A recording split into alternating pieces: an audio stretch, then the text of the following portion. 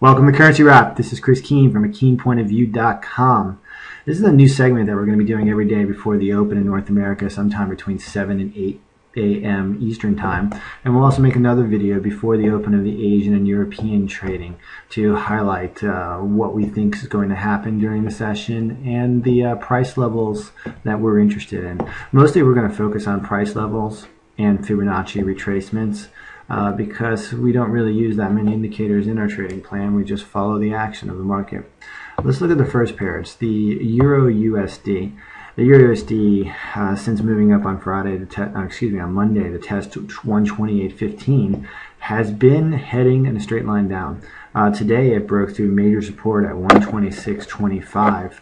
Um, that is a complete extension of uh, the move up from early January. Uh, now the next level of support we see is at 128.40, followed by 123.88, which would be the 127 1.27 extension from the Fibonacci move up and from the highs in late February, early March.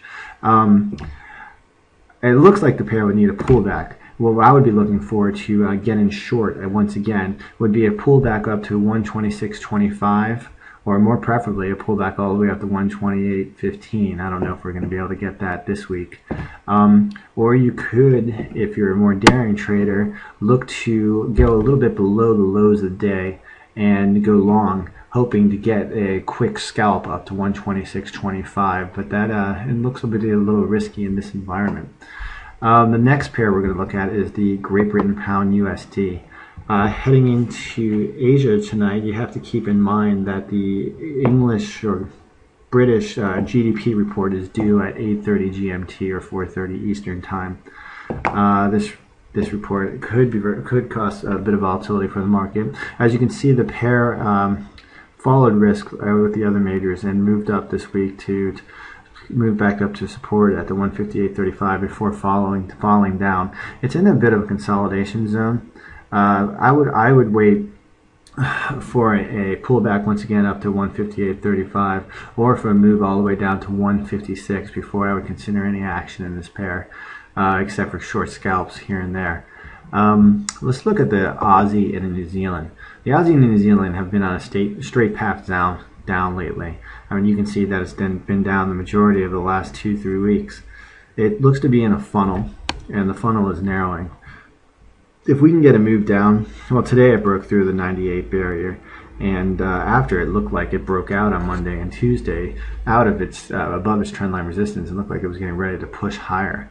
Um, if we get down to the next major support level at 0.9665, we could find some buyers unless we run into another major risk off environment based on the news that's been coming out of Greece concerning we have Italy, Europe concerning Greece, and of course there's Spain and Italy to be concerned about also. Um, if we can get a move down to 0.965, we could find some buyers. But if we get a move back to, uh, to the trend line, or more preferably what I would be looking for, a move back to the 0.98 area, they could sign some selling at that point um, at that point this evening. The and New Zealand's in a similar situation. It's in a straight line lower. I would I would look into actually for, for a quick scalp. If we hit this trend line here, we could get a balance of 50 or so pips. Um, that we could lock in and quick. But you can see it's not a coincidence that it stopped right where it did today. It stopped right at the uh, 7460 area, 7459 area, which is a, a low that was created last uh, last December, a spike low. If we break through this, we could go all the way down to the more significant low that's at the the 73.75, 73.70 area. Um, if we get another retest here, we could bounce higher in Asian session before we, I'm not sure exactly how far we could go. But uh, if we did get all the way back up to 76, 75 in trading, we would probably find quite a few sellers willing to come in at that price. The CAD has been a bit mysterious today. It uh, had major well, it have major resistance. Uh, it had uh, resistance up at 102.50, and it broke through and it spiked all, all the way up almost to the 103 level before following. Now it's about mid-range. If we can stay above 102.50, we could see another push up to 103.115, and then ultimately up to 104.20. Um, but it seems like a pullback might be in the cards for that pair. And the last pair we're going to look at is the Japanese USD Yen cross. Uh, coming out tonight is the Japanese monthly report, and we also have Chinese Chinese manufacturing early in the Asian session. So it could have a little bit of an influence on this pair.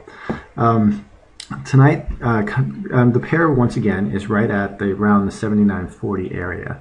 This has been a strong resistance zone, and it's basically just been consolidating since the beginning of May.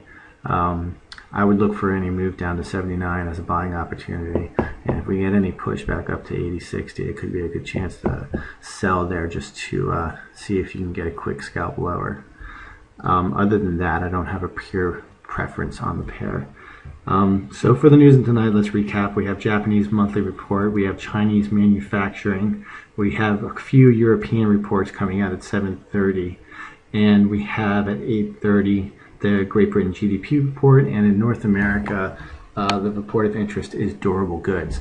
So once again, this is Currency Wrap, and this is Chris Keane from Keene Point of View. Thank you.